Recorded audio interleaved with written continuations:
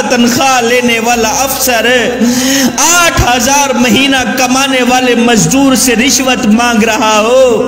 वहाँ अल्लाह का अजाब ना आए तो और क्या आए? जहाँ रिश्वत को अपनी रोजी समझी जा रही हो,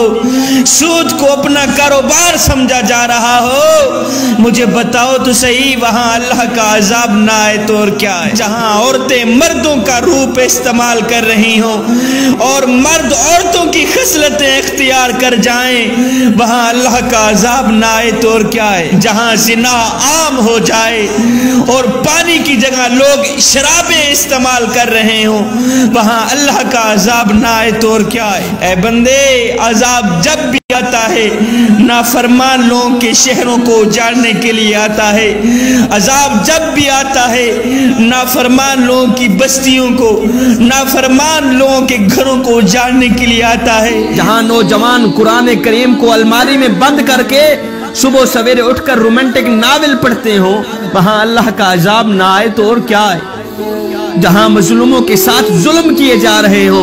मजलूमों के साथ सितम किए जा रहे हो और जालिमों को शाबाश दी जा रही हो। वहाँ अल्लाह का अजाब ना आए तो और क्या है शबीर कमर बुखारी के बयान सुनने के लिए हमारा ऑफिशियल पेज लाइक करें और सवाब की नीयत से वीडियो को शेयर ज़रूर करें।